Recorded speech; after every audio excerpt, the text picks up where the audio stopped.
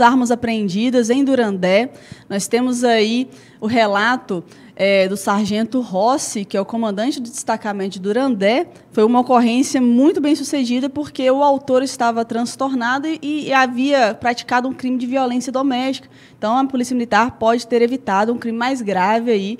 Então o sargento Rossi fala um pouco mais sobre essa ocorrência.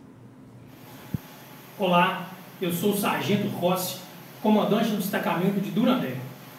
Na presente data, 24 de 1 de 2023, recebemos uma chamada para atendermos uma ocorrência no qual o cidadão se encontrava em surto psicótico.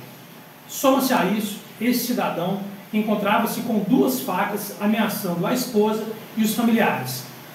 Neste contexto, deslocamos para o local e, após inúmeras parlamentações, o cidadão não cedeu, sendo necessário, após o mesmo caminhar em direção aos militares, efetuarmos o disparo com a pistola de impulso elétrico. Logo após, algemamos o mesmo e encaminhamos para o ponto de atendimento.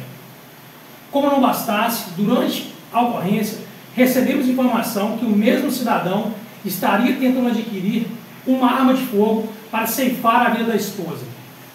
Neste contexto, realizamos diligências e conseguimos apreender duas armas de fogo.